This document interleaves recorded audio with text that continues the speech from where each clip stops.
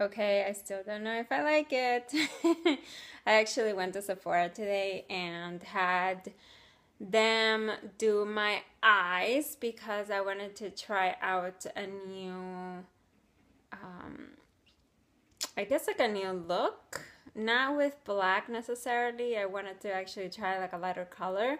Um, but I wanted to try with black just to see how hard it would be with black, and um, it doesn't seem to be that hard. So I'll be able to replicate it with another color. So, anyways, dark makeup or no dark makeup, I am here to talk to you about something very specific. So, what I want to share with you is that there is uh, something that happens with women and it's been I've been seeing it a lot with some of my clients where they are you know at least when they come with me at first they or or they have this pattern repeating for themselves where they just uh, have a never ending to-do list they just uh, pretty much fill out fill up their entire um, calendar, day entire schedule every day, day in, day out, uh, with things to do. And yet they feel like they're not getting as far ahead as they could be getting because they uh, are not doing the right things. So there's two types of tasks. There are the tasks uh, that you know need to get done, but for the most part, you know, if you really weigh it, you're going to see that for the most part they they don't have as much way to bring you in the direction of your desires. And then you have the tasks that are um, they can be either inspired actions, so like things that you just like you're feeling that you know the universe is sort of like telling you this is what you should be doing right now or they could be also things that um, that you know that you should be doing and the universe is telling you that you should be doing and yet you're resisting so you are filling your schedule your to-do list with a never-ending amount of things that are of much less consequence and they are not getting you anywhere. So, that to say, uh, I am going to invite you to do something that I share with some of my high end clients.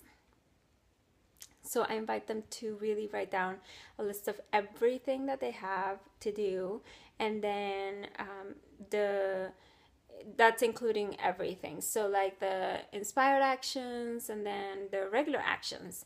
And then you can start really putting them into categories based on, you know, the energy that they have. Are they really. Um, those things are really going to bring you forward. Of course, you know, in order for you to you know do this or that uh, like say that you have a big project going on there may be small tasks associated with it and yeah, there is probably one thing that holds more energy that will bring that project forward more than anything else. And that's the task that I'm inviting you to put to the forefront, even if it's a challenge for you, even if you have an issue around it. And this is a way to really start using uh, a, a timeline in a way that is really, really, really effective. So, if you're looking for other ways of you know bringing yourself into priority bringing yourself into um, learning how to organize and how to how to really understand what's behind like what exactly is happening and why you're not um, you're not being able to let me see what i want to say if you're finding yourself in that space of always having a never ending to do list, then there is a strategy that I have put together called a set strategy.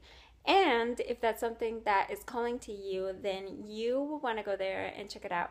So the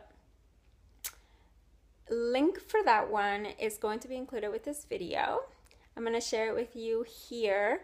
And please go there if this is something that has been really causing havoc in your life, it will really support you in ditching that never ending to do list and stepping into momentum. Okay, all my love.